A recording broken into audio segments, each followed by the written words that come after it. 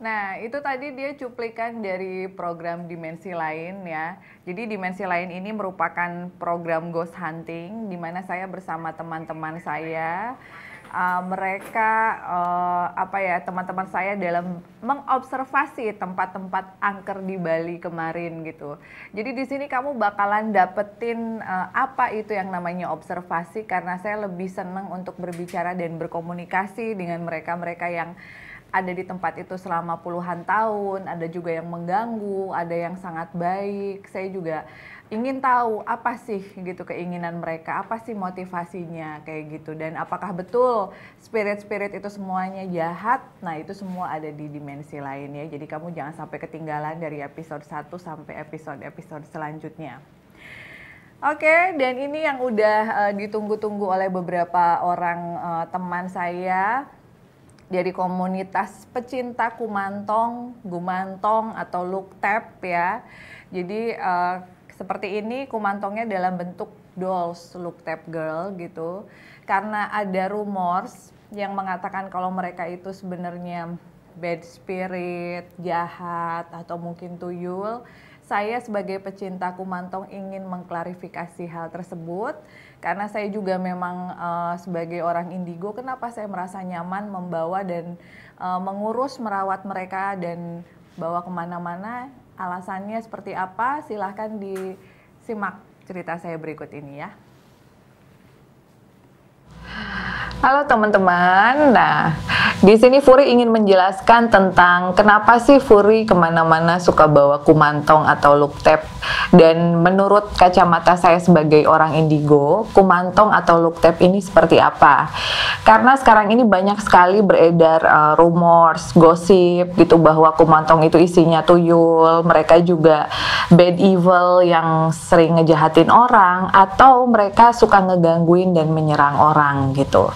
Nah, di sini saya ingin tekankan bahwa uh, keberadaan saya, kebersamaan saya bersama kumantong-kumantong dan luktep-luktep ini adalah bukan untuk menyerang atau juga untuk memproteksi diri ya, karena yang pertama bagi saya sebagai orang indigo tentunya dari kecil saya terbiasa digangguin hantu. Ngelihat makhluk halus di mana-mana gitu. Atau mungkin uh, didatengin gitu didatengin. Didatangi oleh makhluk halus yang ingin menyampaikan pesan gitu. Di saat-saat uh, takut di saat-saat tertekan tentunya saya juga memiliki uh, backup untuk diri saya sendiri. Itu sebabnya saya senantiasa berdoa kepada Tuhan yaitu Allah Subhanahu wa taala. Jadi saya tidak uh, menganggap mereka sebagai protektor. Itu yang pertama. Nah, lalu yang kedua, kenapa saya selalu membawa kumantong ke mana-mana? Tujuannya bukan untuk menjadi sales promotion bagi perusahaan-perusahaan yang memang menjual mereka gitu ya. Jadi memang ada beberapa perusahaan yang mengendorse produk uh, kumantong dan juga look tap girl kepada saya gitu. Dan saya juga berterima kasih karena kumantongnya cantik-cantik. Tetapi secara personal saya tidak akan membawa mereka ke mana-mana kalau uh, membahayakan saya atau membahayakan orang-orang yang ada di sekeliling saya. Jadi buat saya mereka ini adalah spirit-spirit yang sangat uh, haus akan kasih sayang. Mereka juga isinya memang kebanyakan adalah arwah-arwah bayi atau anak kecil usia 1 sampai dengan 5 tahun dan mereka juga senang minum susu, makan makanan. Jadi saya menganggap mereka seperti anak-anak saya, asuhan saya gitu. Dan mereka juga uh, apa ya membuat saya merasa uh, lebih hidup gitu karena terus terang saja saya kurang nyaman apabila saya terlalu lama berkomunikasi dengan spirit-spirit yang terlalu besar atau mungkin arwah-arwah uh, roh-roh yang gentayangan gitu. Jadi buat saya mereka membuat kehidupan saya lebih komplit dan juga lebih nyaman. Nah, lalu juga di sini yang ketiga, saya ingin menjelaskan bahwa mereka itu beda dengan tuyul karena saya sudah uh, melakukan observasi tentang tuyul dari tahun 2012 sampai dengan 2016 di komunitas Indigo. Jadi mereka tidak bisa mencuri uang gitu. Mereka membawa keberuntungan, iya. Kenapa orang Thailand suka sekali untuk uh, memajang kumantong berupa patung atau berupa boneka di toko-tokonya? karena mereka memberikan gift. Semakin mereka merasa bahwa saya dicintai, saya disayangi oleh orang yang mengurus dan mengasuh saya, maka mereka pun akan membantu.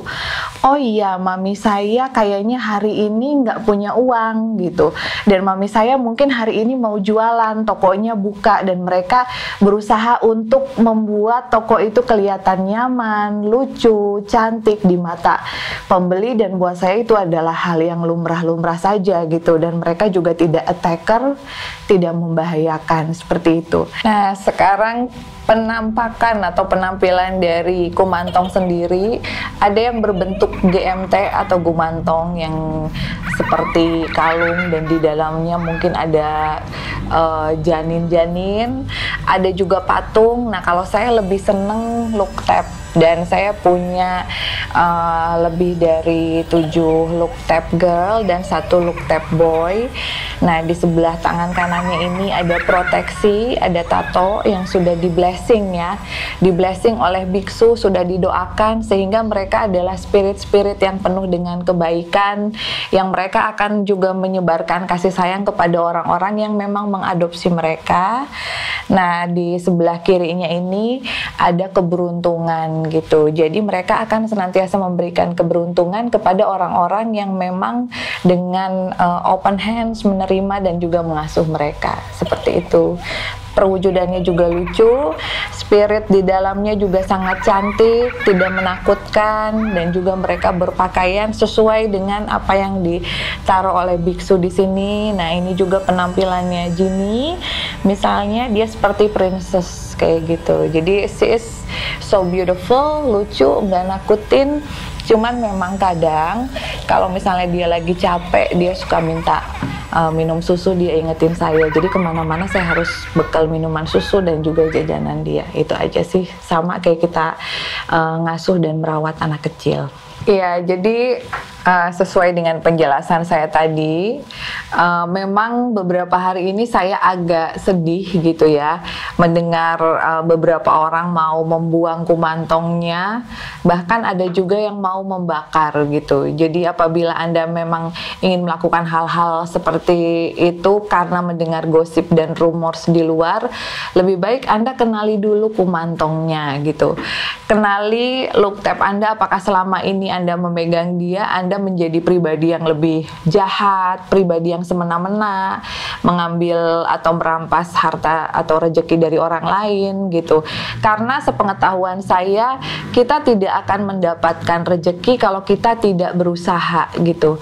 Meskipun dalam prakteknya mereka membantu ya membuat toko kita rame, membuat kita lebih disukai oleh orang-orang lebih welcome terhadap kita, tetapi pada kenyataannya kalau kita tidak bekerja kita tidak berusaha ya kita nggak bakalan dapat apa-apa gitu. Jadi tolong dipikirkan lagi jangan membakar jangan membuang kumantongnya. Kalau memang kalian tidak mau mengasuhnya uh, silahkan diberikan untuk diadopsi kepada orang-orang yang memang menyayangi dan juga uh, mau menjadi orang tua asuh mereka gitu. Karena sebetulnya mereka adalah spirit-spirit yang haus akan kasih sayang janin-janin yang diaborsi anak-anak yang lahir tidak diinginkan gitu. Jadi semestinya kita harus lebih bijaksana dan welcome lah. Seperti itu aja penjelasan saya secara pribadi. Uh, hanya mewakili sebagai pecinta dari look tap dan kumantong dan selama beberapa uh, bulan hampir satu tahun ini saya apa ya mengasuh kumantong belum pernah saya merasakan efek yang negatif atau mereka menyerang saya secara tiba-tiba. Yang ada malah mereka membantu saya dalam prosesi uh, ghost hunting gitu membuat pikiran saya lebih fresh di saat mungkin saya dilanda ketegangan melihat uh, apa ya lokasi dan situasi yang menakutkan, melihat spirit yang uh, serem gitu. Jadi kehadiran mereka buat saya adalah uh, spirit mereka mensupport saya untuk tetap bisa uh, jalan dalam prosesi ghost hunting dengan baik. Mereka penghibur saya lah intinya seperti itu. Sekian penjelasan dari Furi, semoga uh, cukup berkenan dan cukup bisa dimengerti oleh uh, para pemegang dan juga komunitas dari Kumantong Indonesia. Terima kasih.